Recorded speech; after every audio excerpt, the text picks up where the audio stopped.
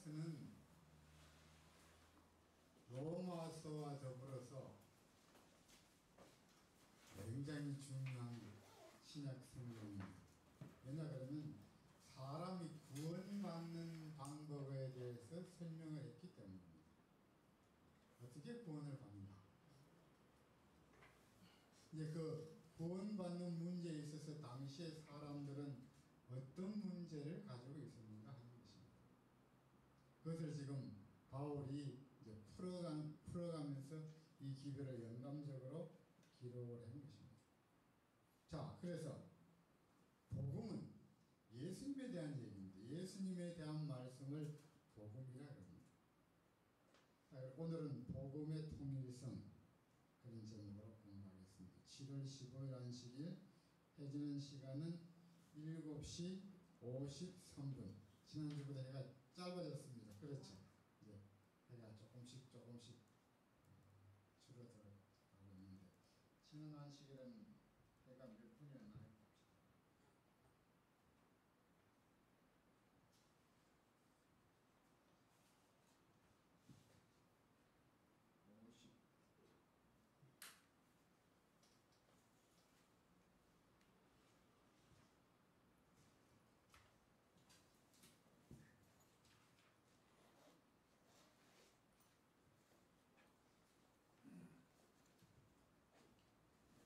1시 56분, 53분, 3분이 시간이 이제 줄었습니다. 과제가 아, 지나고 시간이 조금씩 줄고 있습니다. 오늘은 복음의 동일성 이런 제목으로 하겠습니다. 자, 성경제가 한번 기억제를 읽어볼까요? 빌리포 2장 2절 마음을 같이 하여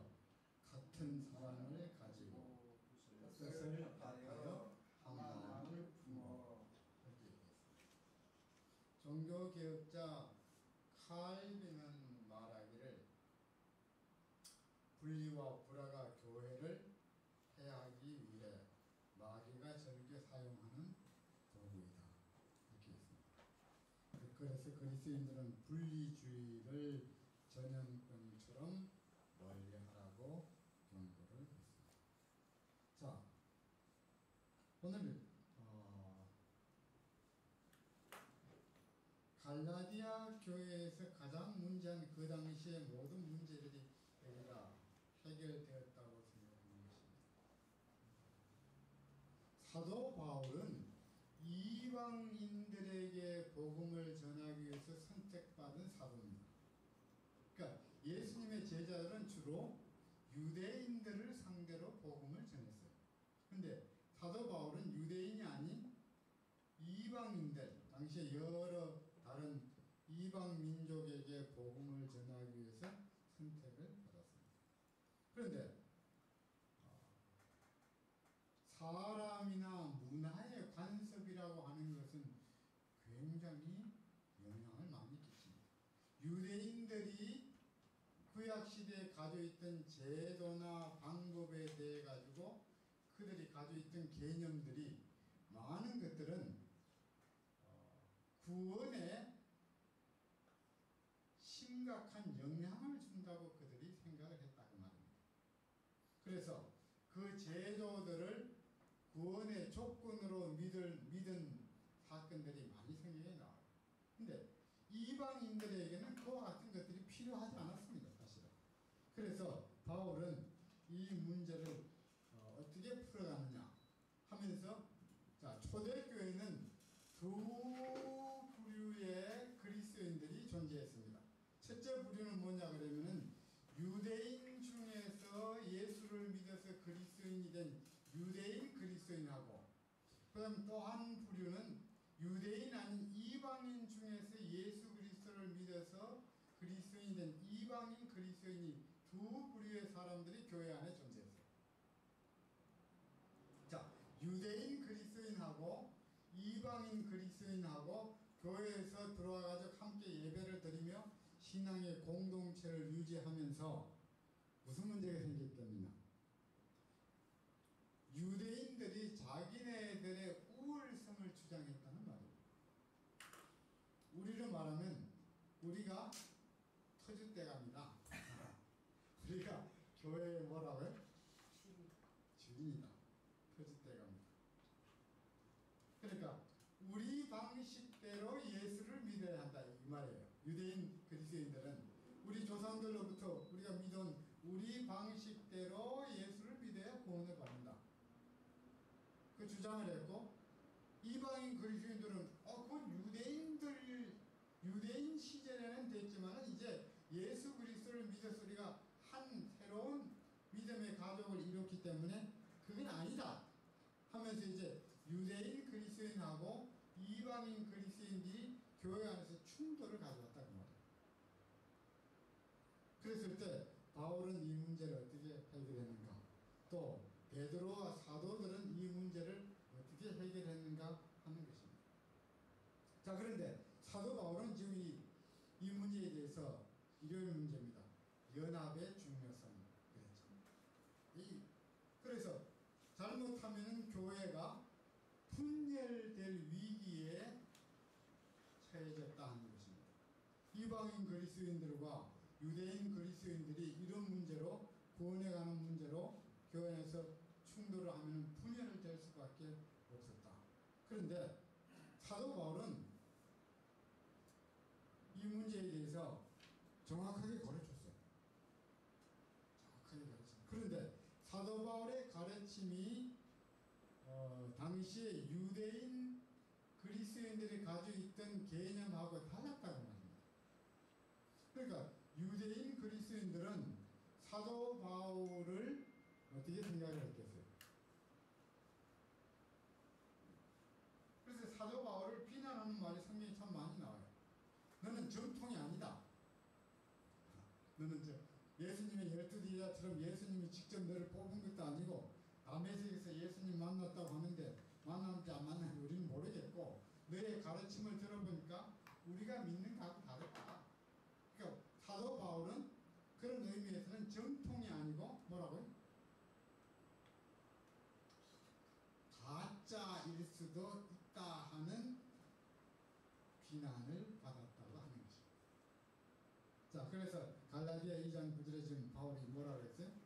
야고보와 게바와 요한도 내게 주신 은혜를 알므로 나와 바나바에게 친교의 악수를 하였으니 그랬죠. 자, 너희들이 너희들이 존경하는 야고보 장로, 게바는 이제 시몬 베드로입니다. 시몬 베드로와 예수님 저 요한도 내게 주신 은혜를 인정을 하고 하나님이 나에게 주신 은혜와 구원을 인정하고 나와 바나바의 바나바는 이 바울의 친구입니다. 안디옥에 있던 바나바에게 뭐 했다고? 친교의 악수를 한 것을 보면 나를 인정했지 가짜라고 하는 것은 말이 안 된다 그 말입니다. 그런 의미로 지금 아주 강하게 얘기하고 있는 것입니다. 그래서 바울은 자신이 전하는 복음을 다른 사도들 앞에서 설명을 하고 그 사실을 공유했습니다. 굉장히 중요합니다. 그래서 바울이 전하던 사도 바울이 전하던 복음과 베드로가 전하는 복음이 다르다고 교회 안에서 자꾸 그러니까 예루살렘에 올라가서 그들과 함께 그 복음이 같다고 하는 사실을 공유했다. 사도 바울은 하나님의 성령의 감동을 따라서 이 복음을 전했기 때문에 맞다는 말입니다. 그 사도 바울과 다른 사도들은 이 구원의 문제, 복음에 있어 가지고는 서로 연합하였다고 하는 것을 알 수가 있습니다. 이와, 이와 같은 것은 성령 하나님의 권고로 이루어진 일입니다. 장로님, 저 오늘 대답 좀 해주십시오. 장로교가 가르치는 구원하고 안식일 교회가 가르치는 구원하고 같아요, 달라요? 구원은 없겠죠. 같죠. 근데 다른 점이 있어요. 뭐가 다를까? 안식일과 일요일이라는 거예요. 자, 예수를 믿어 구원받는 것 진리는 같습니다. 구원은 구원은 예수 그리스도의 인간의 행위는 아닙니다. 근데 이제 다른 건 뭐라고요? 구원받았을 때 나타나는 하나님의 계명에 대한 태도가 다른 것입니다. 우리는 구원을 받았으면 안식일을 지키고 성결의 법도 지키고 하나님의 말씀을 순종해야 된다고 가르치는데 장로교나 감리교는 안식일 대신에 일요일 예배해야 된다 하는 그게 분명히 다른 그런 면에서는 다릅니다. 그래서 사도 바울은 당시에 아주 중요한 얘기를 했어요. 교회 안에서 어떤 조건도 인간이 만든 조건은 구원의 조건이 아니다. 예수 그리스도의 능력이고 예수 그리스도께서 주시는 값없이 주시는 구원입니다. 그리고 구원받은 다음에 결과로 나타나는 순종에 있어 가지고는 다양하게 나타날 수 있다고 하는 것을 여기 설명하고 있는 것입니다.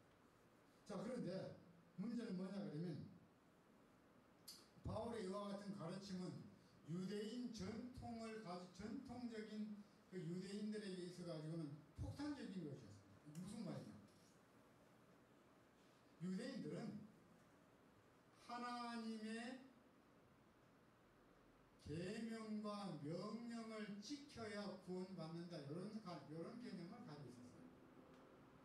근데 구약 성경에 하나님께서 명령하신 십계명 외 십계명을 포함해서 하라고 한 말과 하지 말라고 하는 말이 602가지가 나옵니다.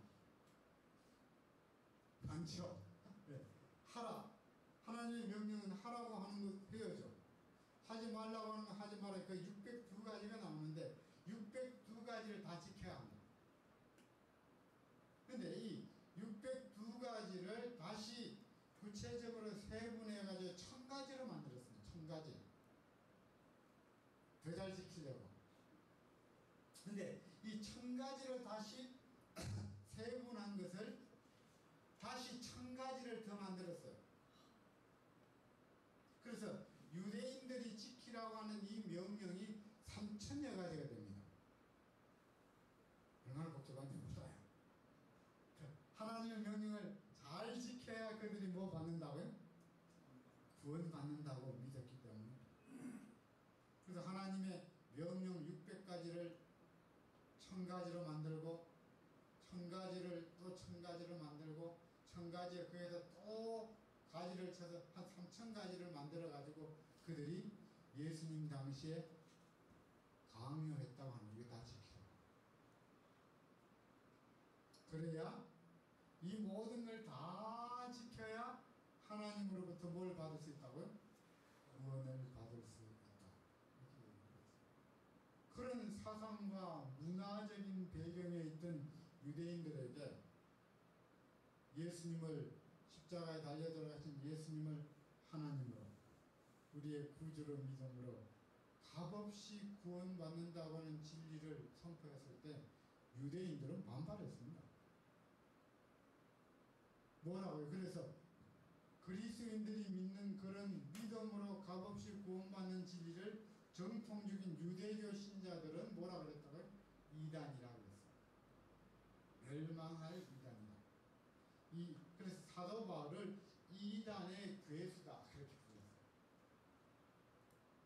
이 완전히 그 당시로선 유대인들에게는 혁명적인 내용이었습니다. 상상을 초월하는 일이었어요. 그런 사상을 가지고 있는 유대인들이 이제 교회에 들어왔어요. 그리스도인이 되었어요.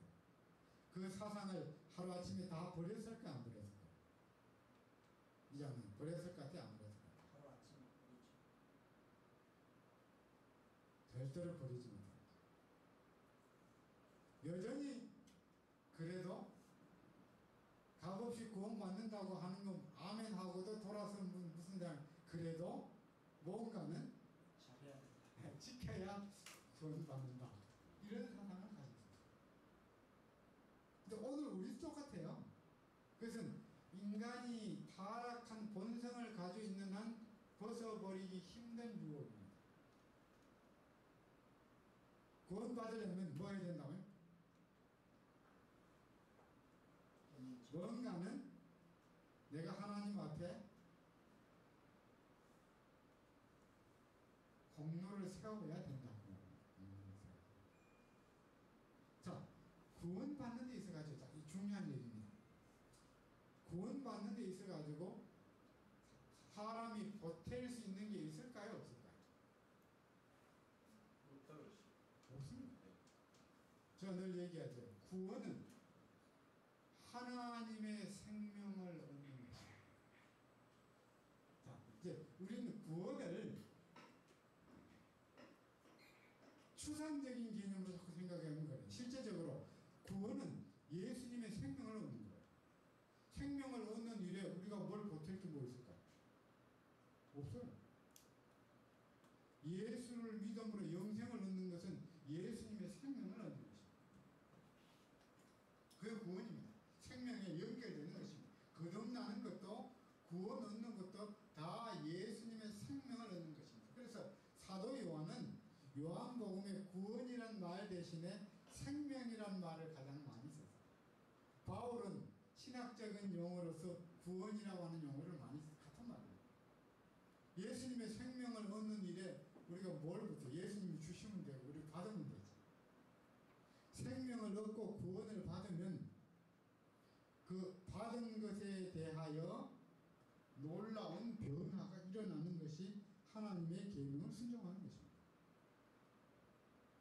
그런데 유대인들은 이것을 거꾸로 생각을 했다는 말입니다. 구원을 받으려면 뭐 해야 된다고요? 내가 선행을 해야 구원을 받는다고 생각을 했다는 것입니다. 자, 그래서 바울은 이게 아니라고 이방인들에게 분명히 가르쳤더니 유대인으로서 그리스도인 된 사람들이 거기에서 반발을 했다. 그래서 교회가 두 쪽 날 뻔했어요. 바울이 전하는 복음과 가지고 있던 율법주의 개념과의 충돌로 두 쪽 날 수 있었지만 바울은 이 문제를 예루살렘에 있는 사도들과 만나서 함께 이 기별이 맞다고 하는 것을 확인했다고 하는 것입니다. 자, 구원받는 것은 하나님께서 사람에게 베푸신 공짜입니다. 우리 로마인 14님. 구원받는 것은 하나님께서 사람에게 주신 거예요? 그냥 주는 거예요. 그게 뭐라고요? 하나님의 예수님의 생명이에요. 영원히 죽지 않는 자기 생명을 우리에게 주는 것입니다. 그게 구원입니다. 생명을 주면서 돈 내놔라 이렇게 하진 않잖아요. 네. 부모가 자식을 낳으면서 내가 내 낳았으니까 돈 내놔 이렇게 하지 않아요. 생명에 관한은 그건 뭐예요? 위에서부터 아래로 주는 선물 그냥 주는 거죠. 생명을 얻으면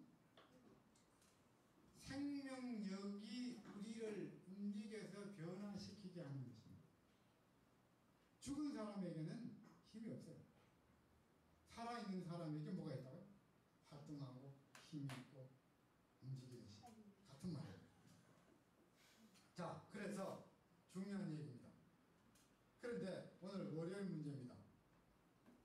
유대로부터 어떤 사람들이 내려와서 사도행전 15장 1절이죠. 어떤 사람들이 유대로부터 내려와서 형제들을 가르쳐 가르치되 너희가 모세의 법대로 할례를 받지 아니하면 너희 구원을 받지 못하리라 하니 그렇죠. 자, 이 안디옥에 또 갈라디아 이쪽에 있는 교회들에게 유대 우리로 말하면 교회 본부가 있는 예루살렘에서 사람들이 내려와서 교회 지도자들이 와서 이방인 그리스도인들에게 너네들 그래 믿어가지고 구원 못 받아. 그, 그, 너네들 그래가지고 안 된다. 구원을 받으려면은 구약 성경에 예언된 대로 모세의 법대로 뭘 받아야 된다고요? 할례 받아야 할례를 받아야 한다. 자, 할례는 언제부터 주어졌느냐 그러면 아브라함이 하나님과 언약을 맺을 때 주어진 예식입니다. 남자의 표피를 베서 표시하는 것입니다. 거룩한 백성으로 구별하는 표시로서의 할례를 여기 성경이 의미하고 있는 것입니다. 그래서 남자아이는 태어난 지 8일 만에 할례를 행하면서 하나님과 언약을 세웠다는 표시라는 것입니다. 근데 여자들은 한대를 못 없습니다. 여자는 구원이 없다는 아니요. 한대를 안 받으면 여자는 남자에게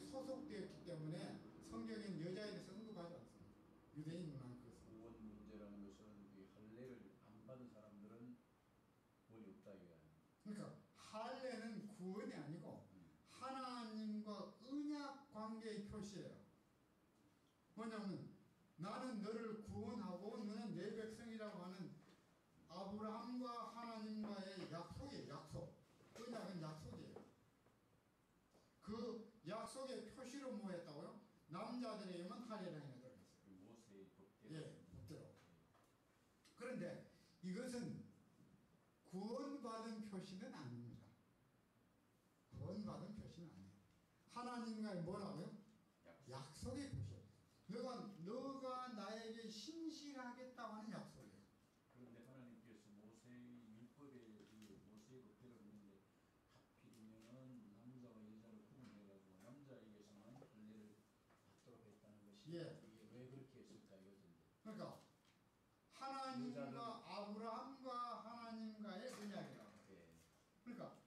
여자 여자는 남자에게 소속되어 있는 거죠. 성경에 항상 부속품으로 아니요 하나라고요. 하나. 남자와 여자가 하나이기 때문에 예. 항상 그러니까 여자에 대해서는 성경에 언급이 없어요. 거의.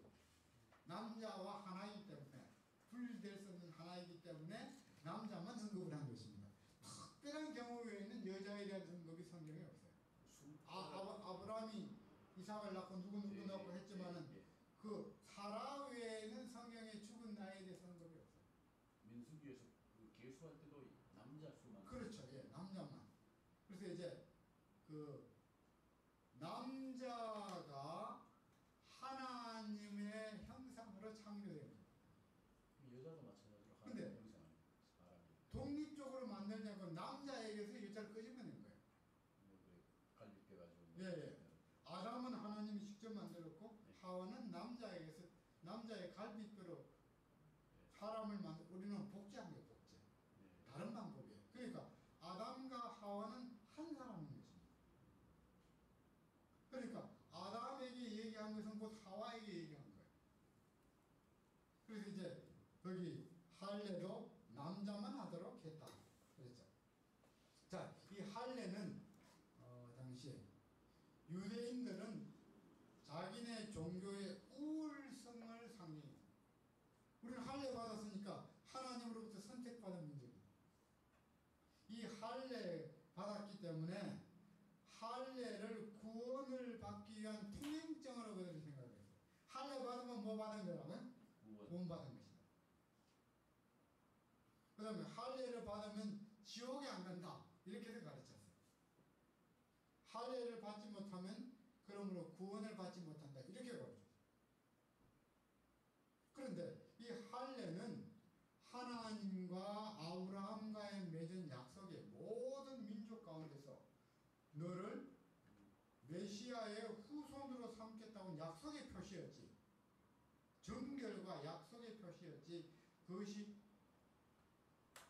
할례만 받으면 구원받은 패스포드로 주어진 건 아니다. 그래서 사실은 바울은 말하기를 이 할례는 마음의 할례를 외적으로 표시하는 것이다. 마음의 할례가 더 중요하다. 내 마음을 우상 숭배에서 돌이켜서 하나님께 드린 드린 그 믿음의 표시가 뭐라고요? 할례다. 그렇게 얘기했습니다. 자, 이 할례를 초대 이방인 그리스도인들에게 유대인들이 뭐라고 그랬다고요? 구원받으려면은 뭐 해야 된다고요? 그리스도인들도 다 할례 받아야 돼요.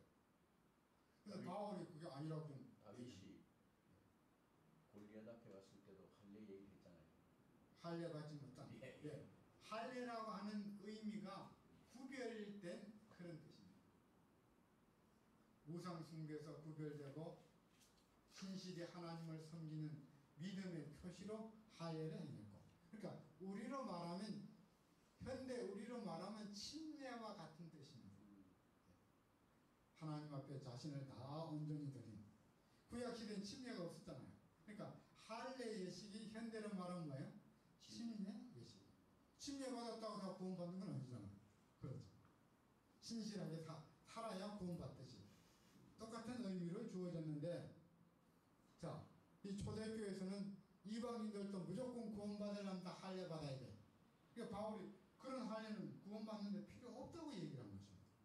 그러니까 초대교회가 이 문제 때문에 굉장한 논쟁을 벌였다고 하는 거죠. 자, 유대인들은 천년 동안 할례식을 행했는데 하루아침에 그 필요 없다 그러니까 반발할까? 그건 굉장한 거죠. 그들의 사상이 잘못됐더라도 이거는 그들에게 있어서는 굉장히 중요한 것입니다. 자, 그래서 이 문제 때문에 초대교회가 논쟁을 많이 했습니다. 할례를 행해야 되느냐 말아야 되느냐. 이거는 이제 유대인들에게서는 절대적인 거죠. 그런데 결론적으로 할례는 구원의 조건이 될 수가 없다고 하는 결론을 내렸다고 하는 것입니다. 자, 그래서 교회 안에는 구원받는 문제에 있어 가지고는 모든 진리가 하나입니다. 어떤 조건도 구원의 조건은 인간의 조건은 없어요. 예수 그리스도를 구주로 마음의 영접함으로 값없이 구원받는 기류에는 구원의 조건이 없습니다. 인간의 행위는 사- 구원받는 일에 실오락이 하나도 포함되지 않습니다. 오직 믿음 하나. 예, 오직 예수 그리스도가 구원입니다. 예수 그리스도를 영접함으로 우리는 값없이 구원을 받습니다. 그러니까 안식 문제하고도 관계 없잖아요. 예, 없습니다. 믿음 하나 뿐이잖아요. 예, 예. 예. 믿음. 그런데 구원을 받고 난 결과에 대해서는 다르다고 말합니다. 음. 구원을 받고 나면은 죄와의 관계에서 해결됐기 때문에 하나님의 계명을 순종하게 거죠. 그게 이제 이게 동시적으로 일어나는 사건입니다. 하나님의 계명을 지켜서 구원을 받는가? 구원을 받으면 계명을 지키는가 하는 겁니다. 그래서 예수님이 그 열매로 그들을 알지니라 하는 말이 그 의미입니다. 그 하나님의 계명과 율법은 하나님을 지금 설명하고 있는 것입니다. 그래서 우리가 쳐다보니까 우리 힘으로는 불가능해요. 십계명이 요구하는 것은 죄 없는 것입니다. 하나님처럼 되는 말이에요. 그리고 어, 율법 쳐다보니까 불가능한 것입니다. 그러면 방법은 뭐라고요? 예수 그리스도를 믿음으로 죄를 용서받음으로 율법의 요구를 이루는 것입니다. 율법의 요구를 이뤄서 구원을 받으면 율법을 절겨 순종하는 모습으로 하지 말라 그래도 그 모습으로 나타나는 것입니다.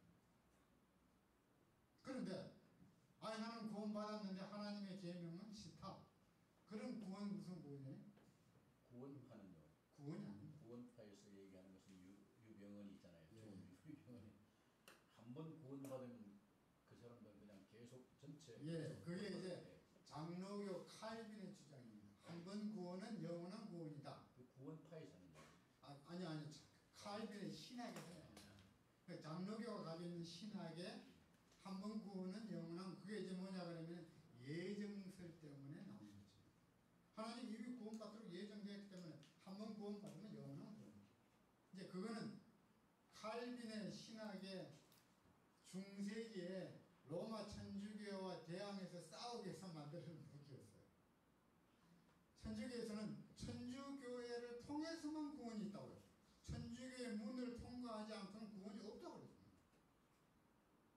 8빈이 무슨 소리냐? 이미 구원받을 사람 하나님 예정해놨는데 그, 그 천주교 문 통과 안 해서 구원받는다. 그래가지고 종교개혁을 이렇게 뒤집어 엎은 것입니다. 그 당시로서는 그게 뭐였다고요? 최선의 방책이었는데 신학적으로는 뭐였다고요? 천주교가 싸우는 데는 성리했는데 신학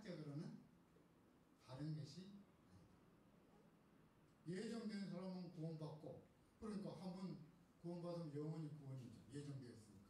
예정되지 못한 사람은 구원 못 받는다. 그러면 아무리 예수 잘 믿어도 구원이 없다는 얘기거든요.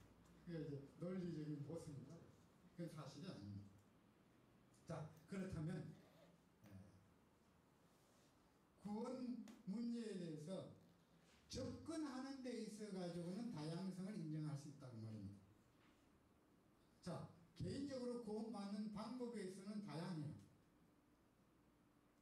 뭐 이런 방법으로 교회에 들어왔든지 저런 방법으로 교회에 들어왔든지 우리 교회 예수 믿어 그런 사람들이 유형이 다양합니다. 영어 배우러 와서 구원받은 사람.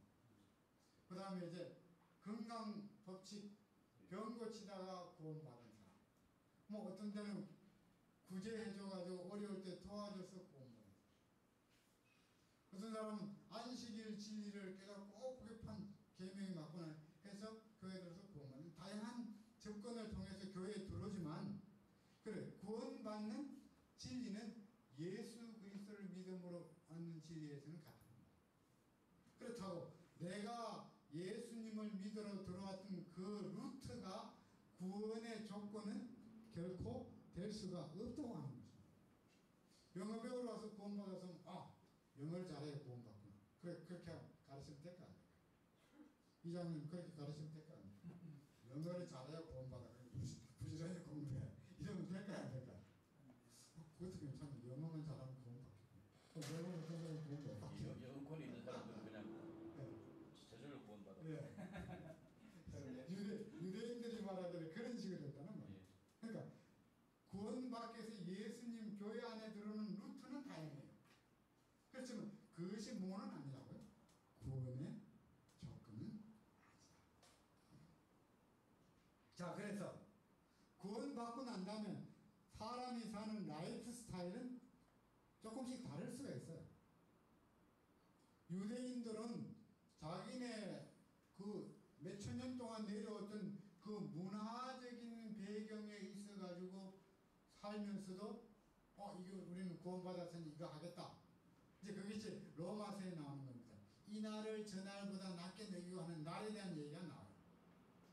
그게 뭐냐 그러면 유대인들이 예수 믿어서 구원받고 난 다음에 6월절이 되면은 절기를 지켰다고요. 그 당시 초대교회 그리스도인들이 절기 지킨 겁니다. 지금도 미국에서 보니까요. 유대인들은 6월절 되면 엄격하게 아주 아, 그러니까. 뭐 유대 교인들은 저 그걸 지켰지 모르면 그리스도인이 된 유대인들도 절기가 되면 뭐 했다고요? 절기 기억하고 지키면 왜냐면 조상들로부터 내려왔던 그 전통을 그대로 그들이 문화적인 전통을 가지고 있었어요. 어떤 사람은 하루 먼저 지키고 어떤 사람은 하루 나중 절기를 지켰어요. 그러니까 둘이 싸운 겁니다. 야 절기가 어제인데 왜 너는 오늘 지키냐? 이 날이 더 좋지 않느냐? 저 날이 더 좋지 않느냐? 그러니까 다른 말이 뭐라고 했어요? 그거는 구원과는 아무 상관이 없으니까 먼저 지키든지 이 날을 지키든지 다음 날을 지키든지 그건 상관 그, 그, 그거 가지고 서로 논쟁하지 마라. 그 다음에 이제 유대인들이 음식물에 대한 문제 때문에도 서로 다퉜어요. 그러니까 절기 때는 뭐 무슨 떡 해먹고 우리는 말하면 무슨 음식 해먹고 근데 그거 해먹어도 되고 안 해먹어도 되니까 그것 때문에 서로 뭐 하지 말라고요? 논쟁하지 마라. 그는 구원의 절대적인 문제가 아니니까 하지 말라. 그래서 이제 구원받은 사람이 이 구원에 대한 조건의 통일성을 여기 설명할 뿐 아니라 어, 구원받는 방법의 접근 방법도 다양성을 인정해야 되고 구원받고 난 다음에 사는 방법에 있어 가지고는 조금씩 조금씩 차이가 나도 그게 절대적인 진리와 관련이 없으면 그것을 서로 뭐 해야 된다고요? 용납해야 된다 하는 것입니다. 예를 한번 들어보십시오. 어, 육식을 하는 사람도 있고 채식을 하는 사람도 있어요. 그렇죠.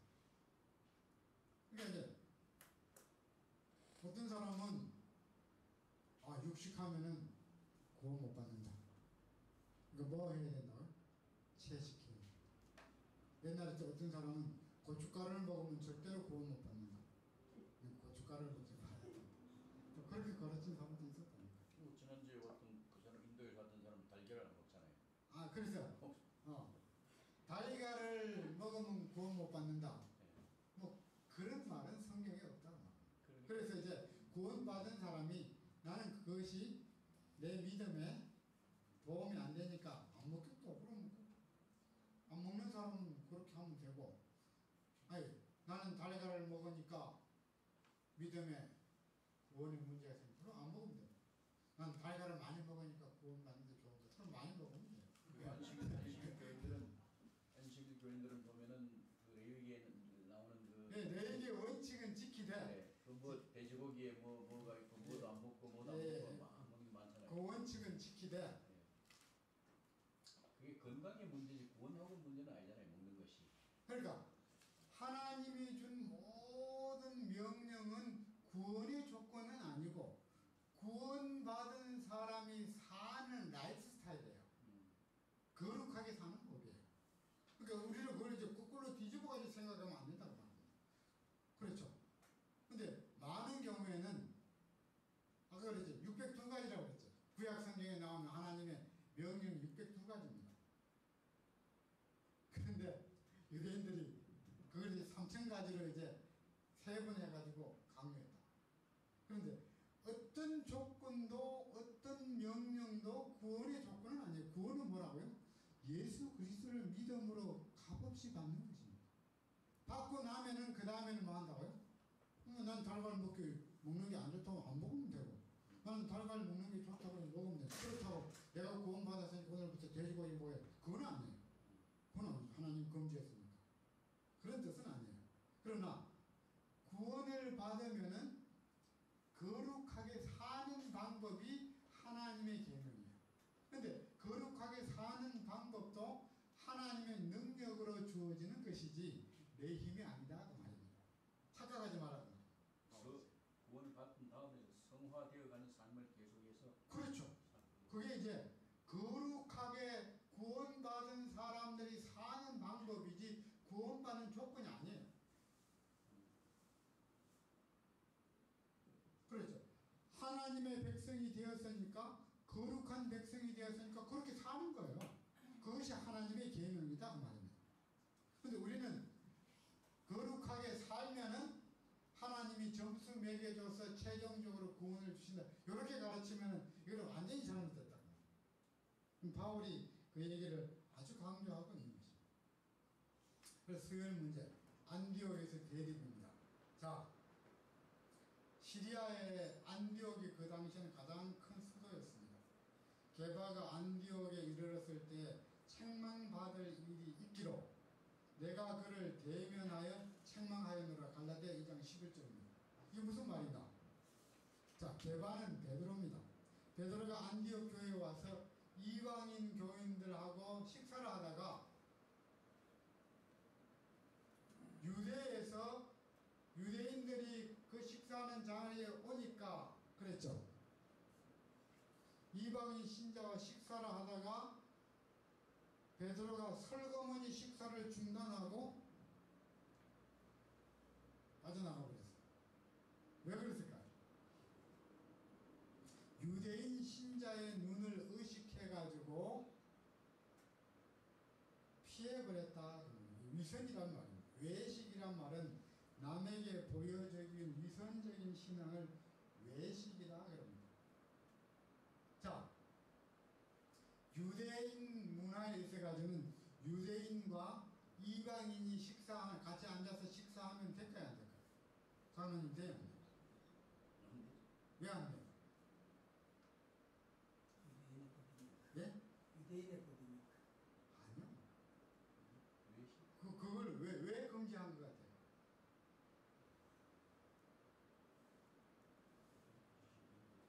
유대인과 이방인은 다른 사람입니다. 유대인 기준에서. 유대인은 하나님 백성이 이방인은 사람이 아니에요. 이방인은 개 돼지보다 못하다고 취급했어요. 그러니까 유대인이 이방인과 같이 교제 식사하면은 부정해지는 것입니다. 그 절대로 그들과 교제하거나 같이 음식을 나누면 안 돼요. 부정해져서 마귀의 자식이 되는 것입니다. 예수님이 어느 마을로 들어가다가 누구, 누구 집에 들어가는 것도 그것도 사마리아인 예, 여인 만난 여인하고 것도 그거는 예, 유대인들에게 있어 가지고는 혁명적인 사건입니다. 유대인 아닌 이방인은 개 돼지와 같기 때문에 그들과 대화도 교제도 거래도 하면 안 됐어요. 근데 식사를 같이 했다고 하는 건 큰일 날 일입니다. 우리로 말하면 부정 타는 일입니다. 그래서 고넬료와의 대화에서 보면은 고넬료와 만날 때 하나님 계시 줬죠. 각 각종 뭐예요? 않은 그 짐승들을 잡아먹으라고. 그래. 베드로 아니 내가 계시 내가 먹, 먹지 않았습니다. 그래서 그 꿈을 깨고 났더니 그 내용이 뭐였다고? 이방인들을 개, 돼지, 짐승, 벌레처럼 여기던 그 유대인 사상을 지금 베드로를 깨뜨리기 위해서 주어진 내용이에요. 이거 굉장히 중요한 거예요. 베드로도 그 사상을 깨, 깨뜨리지 못했다고 말이에요. 예, 지사님 깨뜨리지 못했습니다. 그런데 그 계시 보고 이방인을 뭐 더럽다든지 저주받았다든지 구원받을 대상이 아니라고 여기는 것은 잘못했다 하는 것을 알고 고넬료지에 복음을 전했죠. 그런데 그 이후에 지금 이 안디옥에 왔을 때 베드로가 다시 옛날 스타일로 돌아갔다고 합니다. 이방인하고 식사하다가 예루살렘에서부터 유대인들이 오니까 그 자리를 피했고 왜, 왜 그랬다고요? 유대인들의 눈을 의식해서 그러니까 그렇게 했는데 그것 때문에 지금 사도 바울이 한테 아주 책망을 받았습니다. 유순이라고. 그럼 잘못된 거죠. 그래서 여기 말했죠. 그를 대면하여 책망하였느라. 하나님 그렇게 하지 않는데 당신이 왜 그- 그렇게 했는가? 그래서 베드로가 아마 크게 사과했을 것입니다. 자, 유대인들은 유대인 사상에 있어서는 구원은 누군만 받는다고요? 유대인만 유대인들만 받고 유대인 아닌 사람은 구원이 없다고 가르쳤어요. 그래서 제가 지난번에 얘기했죠. 초등학교에서 초등학생들이 담임 선생님한테 질문을 해요. 라비어, 하나님께서 유대인들만 창조하지 않고 이방인들은 왜 만들었습니까?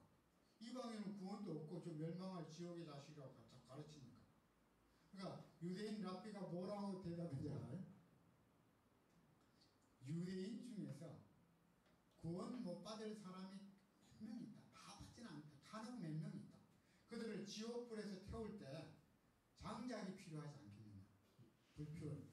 이방인을 유대인들을 멸망시킬 지옥불의 장작으로 쓰려고 창조했다. 이방인은 뭐 하려고요? 구원받으려고 하나님 창조한 게 아니고 유대인들 중에서 지옥불에 불태울 때 쓸 땔감으로 쓰려고 이방인을 가르쳤어요. 여러분 유대인들이 지금도 그 사상 그대로 가지고 있습니다. 놀라지 마십시오. 유대인들이 지금 유대인 아닌 이방인들을 사람 취급 안 합니다. 얼마나 독선이고 무서운 일이에요. 근데 초대교회는 지금도 그런데 초대교회는 얼마나 강력했어요. 막 예수님 오셔가지고 초대교회 그리스 교회가 지금 유대교에서부터 분리해서 나올 때 초대교회에서 그 하루아침 그 깨트린다고 하는 것은 사도 바울 아니면 이 깨트리기 어렸을 것 같아요. 아주 혁명적인 사건이었어요. 그러니까 누구도 지금 그 사상을 버리지 못하고 있었다고요? 베드로도 그 사상을 버리지 못하고 이방인하고 식사하다 유대인들 하니까 얼른 그냥 안 한 것처럼 외식을 했기 때문에 사도 바울이 책망을 했다. 이렇게 얘기했어요. 자, 그러면 오늘 한번 물어보십시다. 하나님이 구원받을 사람하고 구원 못 받을 사람하고 이렇게 구분해 놨어요? 안 해놨어요? 장로님 해놨습니까? 안 해놨어요? 안 해놨어요? 예. 저, 사, 저 사람은 보니까 내가 보니까 전도해도 뭐 할 것 같지 않아? 구원 받을 것 같지 않아? 그런 세상 우리 가지고 있습니다. 그건 누구 사상하고 똑같아요? 유대인들의 사상하고 똑같아요. 저 사람은 아무리 봐도 저 개떡이야. 개떡이야. 성질도 개떡이고 사는 것도 개떡인데 저 사람은 암만 내가 복음을 전해도 뭐 받지 못할 거야? 구원은 못 받는 거야. 그런 생각 드는, 들면 우리는 그런 생각 버려요. 그렇죠. 저 사람도 뭐 할 거라고요? 예수님 믿으면 구원받을 수 있다. 퀸이 선생은 참 이쁘게 생겼는데 아마 봐도 구원받기는 어려울 것 같아요. 이렇게 생각하면 될까 안 될까요? 말을 잘 안 들어. 그러니까 내가 아마 봐도 구원받지 못할까. 그런 생각을 유대인들은 아주 이방인들에게 벽을 쌓듯이 했다는 거예요. 절대로 그런 사람은 없어요. 하나님은 사람을 구원받는 일에 있어가지고 절대로 뭐 하지 않는다고요? 구별해 놓지 않았습니다. 자, 물어볼게요. 우리 써니 선생님 남편 구원받을 수 있을까 못 받을까? 우리 써니 선생님 생각은 어때요? 네? 받을 수 있어요? 한번 봐도 좀 지옥에 갈 것 같은데 이렇게 생각하면 안 된다는 말입니다. 생각이 들지라도 우리는 뭐 해야 된다고요? 그 생각을 버리고 예수를 믿음으로 돼요. 제가 한 번은 전도를 했는데 어떤 아주머니가 교회에 왔어요. 네, 당신 남편 뭐 하는 사람이니까 무슨 큰 가게를 한대요. 그래서 남편을 교회를 데, 좀 데려오십시오. 그랬더니 목사님 내가 교회 나간 걸 알면 원래 왔는데 남편이 가만두지 나도 뭐 교회 못 나가려 할 것이다. 우리 남편은 되게 무서운 사람이에요. 나보고 그래요. 아 그러면 다음 주에 가서 제가 기도를 해드릴 테니까 남편에게 우리 교회 아주 목사님이 젊은 목사님이 당신이 구원받을 수 있으니까 교회 오라고 얘기했다. 그렇게 전달하고 내가 한 말을 전달하고 큰일 날수 있어. 아, 걱정하지 말 가시라. 아, 절대로 우리 남편은 교회 안 나오고 구원받지 못할 거야. 성질이 보통 아니야. 근데 그 다음 주 안식일에 남편이 왔어요.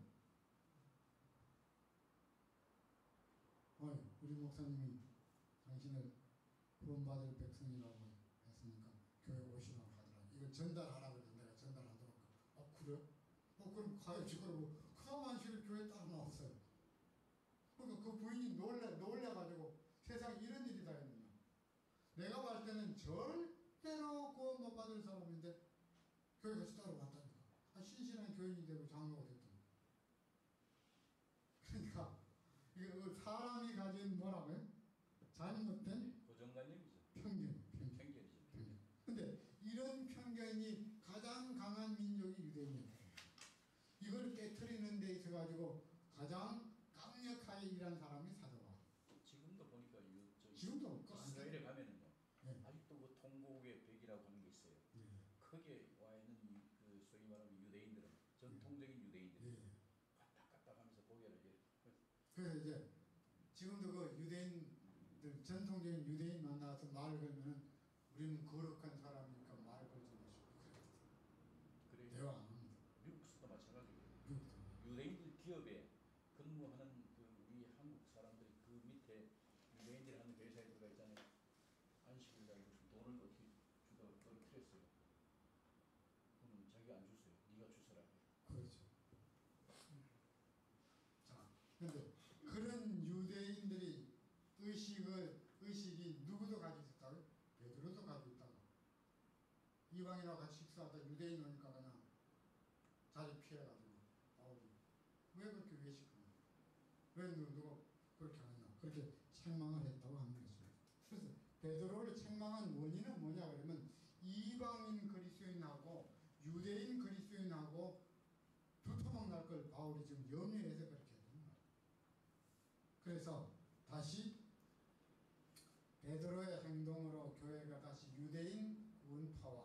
이방인 유대인 구원과 이방인 구원이 다르지 않다고 하는 사실을 설명하고 있습니다. 이 초대교회 문제는 유대교가 가지고 있던 전통을 지킬 것이냐 그것을 구원의 조건으로 받아들일 것이냐 말 것이냐 많은 것들은 안 하더라도 할례만 해- 해야지 되지 않느냐 뭐 별 얘기가 다 나오고 그 다음에 절기는 지켜야 되지 않느냐 근데 절기 문제가 또 나옵니다 다음에. 절기는 지켜야 되지 않겠느냐 할례는 행해야 되지 않겠느냐 근데 바울은 구원받는 문제에 있어 가지고는 예수 그리스도를 믿음으로 다른 조건은 없다고 얘기하는 것입니다. 그래서 이 문제가 초대교회 교회마다 이런 문제가 일어났어요. 로마 교회도 일어났고 고린도도 일어났고 갈라디아도 일어났고 그 다음에 에베소 교회도 이 문제가 있었고 계속 이 문제가 나옵니다. 그동안에 전통적으로 지키던 유대인들이 가지고 있던 절기, 제사, 할례 이 방법들은 다 묵살시킬 거냐 필요 없는 거냐 하는 문제에 직면했을 때 바울과 초대교회에서 어떻게 대처했는지를 우리가 알 수가 있습니다. 자 그래서 이번 어, 갈라디아서 배워서 이제 다 앞으로 나올 것입니다. 복음과 구원은 있어서 사도 바울이나 그 다음에 예수님의 제자 사도들과의 사이에 있어가지고는 문제가 없습니다. 통일되었습니다. 유대인 구원과 이방인 구원은 하나이고 통일되었습니다. 그 다음에 전도 방법의 다양성도 받아들일 수 있지만 복음과 교리의 경험은 통일되어 있어야 한다고 하는 것입니다. 자, 우리 교회도 지금 똑같은 문제들이 계속 교회 안에 일어나고 있습니다.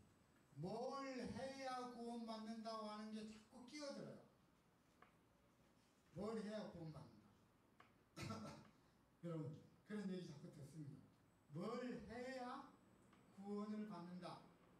구원은 값없이 하나님이 주신 선물인데 뭘 해서 구원받는다 하는 걸 자꾸 끼어가지고 분파 운동을 일으키는 무리들이 끊임없이 등장하는.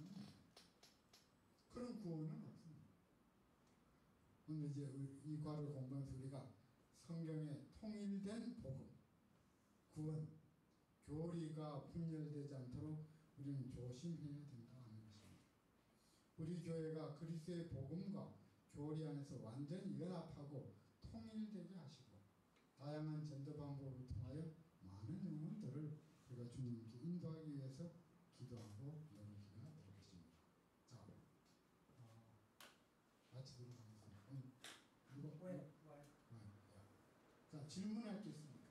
자, 시간 좀 있으니까 질문하겠습니다. 자, 구원은 추상적인 의미보다는 예수님의 생명을 얻는 것입니다. 아주 가볍게 쉽게 배우자고요. 구원은 누구 생명을 얻는 거라고요? 예수님의 생명. 예수님의 생명을 얻어서 영생을 얻는 것입니다. 그게 구원입니다. 근데 예수님이 자기 생명을 줄 때 조건부가 뭐라고요? 무조건 누구든지 믿기만 하면 예수님을 그 마음에 영접하면 줍니다. 자, 그럼 예수님의 생명의 구원을 얻으면 그 다음에는 예수님의 생명력이 우리를 하여금 신실 하게 살도록 하는데 그것이 하나님의 계명을 순종하는 것입니다. 순종해서 구원받는 게 아니고 예수님의 생명을 얻은 다음에 뭐 한다고요? 순종이 따라오는 것입니다. 우리는 자꾸 반대로 생각해요. 순종의 공로로 구원을 주는 게 아니고 예수님의 생명을 값없이 우리에게 부어 주셔서 그 생명력이 우리를 알고 뭐 한다고요? 하나님의 계명을 즐겨 순종하게 하는 것입니다. 자, 이걸 자꾸 바꿔서 생각하면 절대로 안 됩니다. 우리는 죄악적인 본성을 타고났던 자꾸 거꾸로 자꾸 돌려요. 거꾸로. 순종해야 뭐 받지? 구원 받지. 값없이 구원 준다고 했는데 아니야. 그래서 뭘 순종해야 구원. 자꾸 그 생각이 드는 거죠. 그러니까 구원은 하나님의 우리에게 주신 예수님의 생명입니다. 요한복음 그랬잖아. 아들이 있는 자에게는 뭐가 있고? 생명. 이 있고. 하나님의 아들이 없는 자에게는 생명이 없는 거. 이 생명이 곧 뭐라고요? 구원이요. 구원받는 게 쉬워요. 쉬워. 여러분, 구원받는 게 쉬워.